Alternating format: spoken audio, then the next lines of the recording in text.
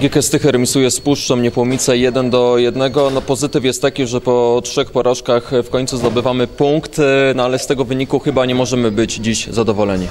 E, Tak jak Pan mówi, na pewno z tego musimy szanować ten punkt, ale na pewno z przebiegu gry, z wyniku nie jesteśmy zadowoleni, bo praktycznie Puszcza zagroziła nam tylko po, po tej strzelonej bramce. Praktycznie po jednej wrzutce, błąd w kryciu, no i dostaliśmy bramkę. Szkoda, że brakło nam troszkę szczęścia. W końcówce mogliśmy szal zwycięstwa na swoją korzyść przechylić i wywieźlibyśmy, znaczy wywieźlibyśmy i zainkasowalibyśmy u siebie trzy punkty.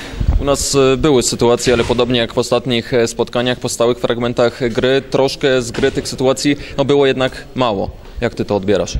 No, no pan rację, z gry było tych sytuacji troszkę mniej, ale, ale puszcza nam coś kosztem czegoś. Puszcza nam praktycznie nie zagroziła. Mamy naprawdę bardzo mocne stałe fragmenty gry, mamy w ofensywie naprawdę bardzo dobrych zawodników, jak na tą, lig- jak na tą ligę bardzo dobry jakościowo i no szkoda, mam nadzieję, że w następnym meczu w Rakowie przejmiemy tą niemoc wyjazdową i zakasujemy trzy punkty, no i po dwóch, za dwa tygodnie wszyscy wiedzą jaki, jaki jest mecz, jaki prestiż z Giechsą u siebie. W kolejnym meczu pokazujemy, że jesteście bardzo dobrze przygotowani kondycyjnie, bo znowu ta końcówka była bardzo dobra, no ale piłka do bramki jednak wpaść nie chciała.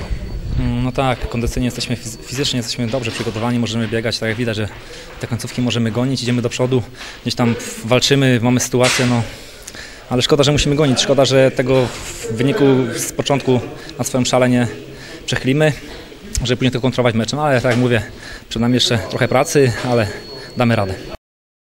Forbet Zakłady Bukmacherskie, oficjalnym sponsorem GKS-u Tychy.